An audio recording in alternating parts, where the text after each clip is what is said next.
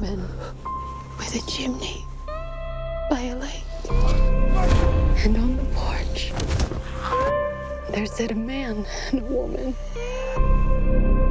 holding hands, watching the sun disappear. It began slowly. The environmental impact on the area's water supply. We learned that containment was no longer an option. There's no hiding. And there's no running from it.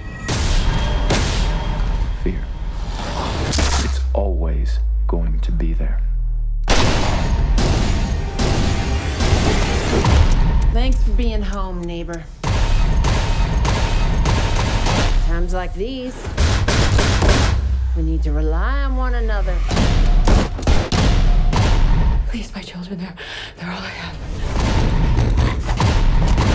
You'll watch me take what's left of yours.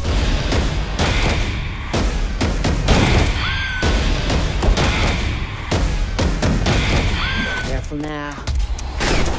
For help comes calling.